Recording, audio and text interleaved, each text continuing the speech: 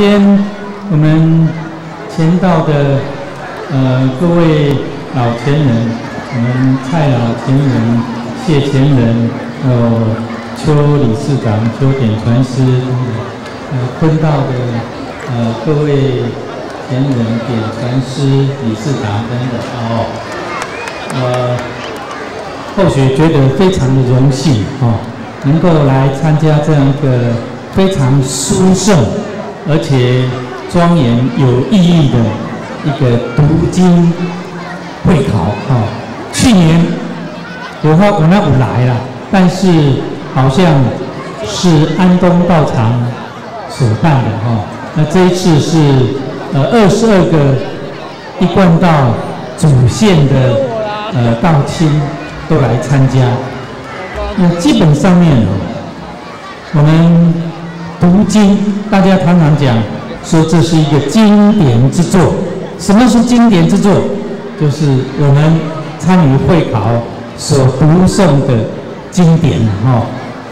那基本上面是鼓励大家勤学、明信，然后我们扎根以后，把我们所传承的这个经典，那么不断的那往下的。让它能够滋生蔓延，而且成为社会、民生、日常生活的一部分啊！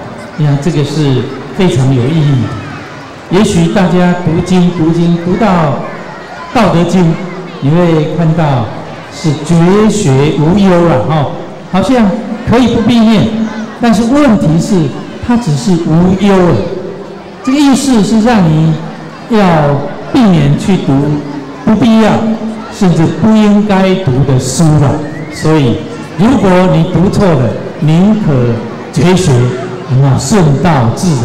那今天我们念的是经典，是应该传承的经典，也就是我们要承先我们启后的一个基本的应该有的一些知识的一个内化啊，然后你才能传。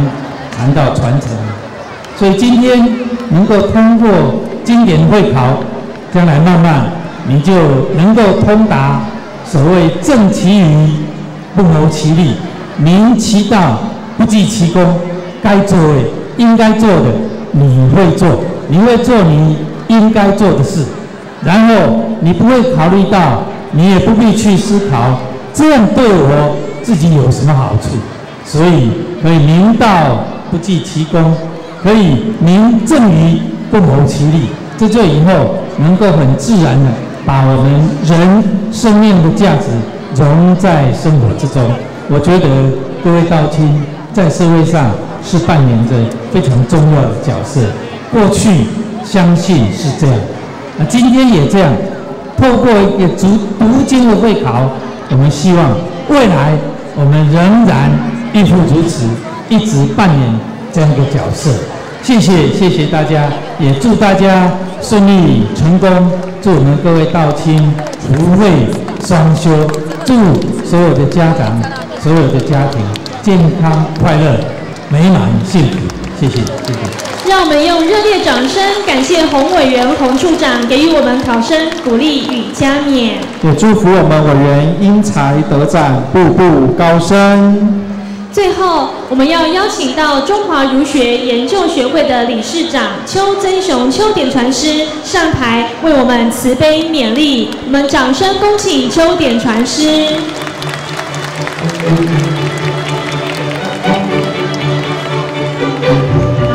我们一同向典传师问好。典传师好。我们尊敬的监察委员。我们安中组的陈元老，啊，我们新竹市的教育处的处长，我们各组县的前人前辈，各位莲师，呃，各位莲师，好，各位前贤，各位家长，各位小朋友，大家好。好。啊，或许真的承蒙天恩师德。我们这一次啊，承蒙我们新竹市政府，还有我们安东组的各位前辈的允诺，啊，让我们八一崇德，还有中华儒学研究协会能够参与这个盛会，非常的感谢。我们在一年前，我们觉得啊，世界要大同，我们到场要先大同，最后请斗胆，请我们安东组的我们前辈啊，永乐在我们新竹市政府的指导之下，来举办这个嘉年华的会考。啊，各位小朋友，我们办到了，我们一年来的努力。我们大家应该非常的充满法喜，感谢我们政府单位、我们各个道场的支持。好，我相信大家应该同意我这个说法。我们不管哪一个道场，他都可以举办这样子的一个盛会，但是，但是要我们大家一起来办这样的盛会，的确难能可贵。所以我们。除了感谢我们政府大力的支持指导之外，我们也感谢我们安东的各位前辈，还有我们一贯道总会所有的分会、各个的这个支会、各个的道场，大家加入，我们才有这样的一个很好的一个开始。啊，各位小朋友。各位家长，啊，或者有一件事情必须要跟各位来报告。虽然现在的时间已经很晚了，啊，或者前天、昨天，啊，在我们贵宾室跟我们安东组的这个谢。前人，这个谢老，他老非常的谦虚，他说在这一年当中，我们大家的磨合，我们大家的这个讨论。也许有语言上或者意见上的差距，请各位多多包涵。各位道亲们，我们的前人是那么的谦卑，这就是我们所要学习的一个对象。啊，刚刚我们洪洪委员上台的时候，也自称是后学。各位道亲，我们在推展读经的运动的时候，我们不要忘了。我们要敬天地礼神明，我们要好好的谦卑做人。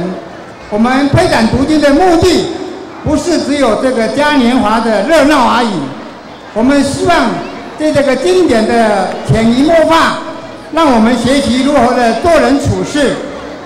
我们的读经如果来移风易俗，不但在做我们台湾宝岛，我们甚至要推广到全世界去。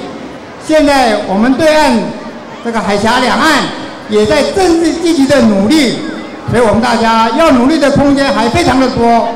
希望我们今后我们有做更多的机会，和各位前辈、和各位到场来学习，一起来努力。最后，我们祝福我们各位的长官能够这个步步高升。我们祝福我们的前辈，我们的各位点师到红展。也祝福我们各位的家长、各位小朋友身心灵健康，家庭幸福美满。谢谢大家，谢谢。